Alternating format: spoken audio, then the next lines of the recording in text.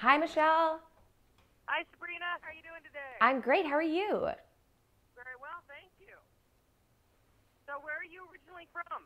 Oh, gosh. Well, I was born in Miami, then we moved to New Jersey, then I moved to California, then I moved back to DC, then I moved to DC, then uh, everywhere. I, you would think I was in the military, and I'm not. Uh, well, I know that you're a noted Cuban chef. We're going to have to talk recipes sometime. I'm a Puerto Rican cook. Oh my gosh, we're like sisters. It is. so, how did you first get interested into design? Oh, I've my mom was a decorator and party planner growing up, and I used to just follow her everywhere on the weekends, shopping for clients and making crafts. So, I mean, it's just, I feel like it's in my blood. Did you become a professional in this industry then? Little by little, it took, I mean, people think because I'm on TV that it was overnight, but it really took a while of busting and, and hustling out there. But um, just getting clients, and I got a big, my big break on HGTV, which was awesome. And it seems like you're on lots of shows there and make your rounds around TV often. That's great. It's, listen, I can't complain. I think I have the best job in the whole wide world. Now, what are some do it yourself skills that you think everyone should know how to do? Um, I think everybody should know how to paint and change a light fixture in their house. Now, do you have a couple things you want to show us today? So, okay, so today, today I wanted to talk about uh, something that people always neglect, and it's that fifth wall. And sometimes clients are like, I, they don't know what I mean when I say fifth wall. It's the ceiling. Nowadays, people are wallpapering, painting their ceilings. In our house, we have tongue and groove and exposed beam ceilings and skylights. And I'm telling you, it completely is the reason why we bought this house. When you walk into our house, the living room or the family room feels huge. It really is not at all, but it's because of those skylights. There's so much natural light coming in that it feels big. So I highly recommend them. And we just actually installed new Velux skylights that are um, controlled by a remote. So not only do, do, the blinds open and close, but so does the actual skylight. So we always have fresh air into the space. And the blinds we have um, are gray with a little bit of houndstooth pattern, but you could actually add that personality in the blind color because they come in different colors and patterns. It's so fun. Now, what are some of the advantages of, of using the skylight in your home?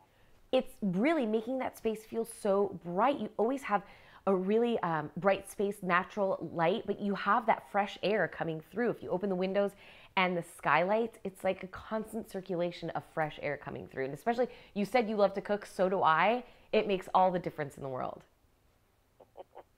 well, what are some great trends for 2017 in home design? You're still going to see a lot of white and light grays on the walls. Um, for kitchens, you're going to see two-tone where the upper cabinets are lighter than the bottom cabinets, matte black appliances for kitchens too.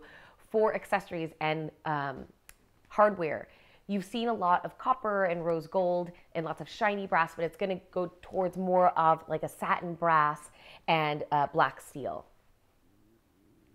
Now, why do you think people often neglect their ceilings? Because I think it's just something they don't think about. They think, okay, I've got to focus on the floors and the furniture and the walls, and then I'm done. It's like, no, wait, you're not done. You still have an opportunity to make something fun. Now, what are some changes that you think are not worth making in a home if you are on a budget? Not worth making in a home if you're on a budget. It really, it's kind of a hard question because it really depends on your lifestyle.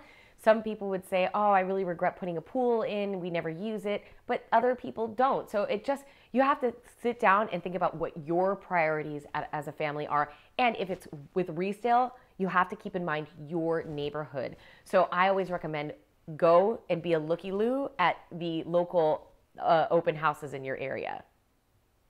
What are some changes that people could make that would improve the, the value of their home?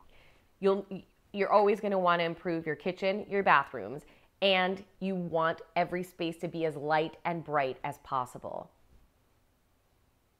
So natural light really is a is a big thing in all homes. It's a must-have. Now, so going to cooking for a moment, how did you learn to cook? Well, growing up, my whole family, both of my parents are from Cuba. My mom, my aunt, my grandparents used to always be in the kitchen cooking, but gossiping really. And so I wanted to hear all the family gossip. So I would just pretend to help them cook, but I was really just listening to all the family gossip. well, what are some of your favorite Cuban dishes to make? My mom makes the best arroz con pollo in the world. Um, so I like to make that too. It's like a comfort food. Um, but I love yuca frita. Ah, that's really good too. I make los gandules and uh, lechon are some of my favorites. Well, I don't know if you just heard during this interview, my stomach's growling. So now you just made me hungrier. now, what advice would you have for someone who wants a career in design? You, build your portfolio. Um, try to ask your friends to redo their spaces. Just build a, a nice portfolio um, of pictures of before and afters. And make sure to even try to assist people that you really love. I see a lot of young designers going and taking jobs with designers that aren't necessarily their, their style. And although you'll learn tricks and, and of the trade, you're not going to really get your style. So try to find somebody that you really love in your area and try to assist them or intern. Now, what do you like to do for fun? Oh, um, mm, sing nursery rhymes. I just had a baby, so I can't. Oh, I haven't had fun. I go to sleep at nine. you know what I did? I watched Trolls last weekend. That was fun. that, works very well. And a glass of wine, girl. oh, you always need that. Always need that indeed. Uh, so, where can people find more information about you? You can go to whyskylights.com, W-H-Y-skylights.com, or you can find me on Instagram or Facebook. Next for you? What's next for me? I have a line of wallpapers coming out next month with Chasing Paper, and I have new diaper bags coming out at Target and Nordstrom next month as well. And diaper bags are really convenient now that you need them too. Oh, you have no idea. That's why I designed them. They're so, so, so cute. And they're $59. Oh, good price. Yes.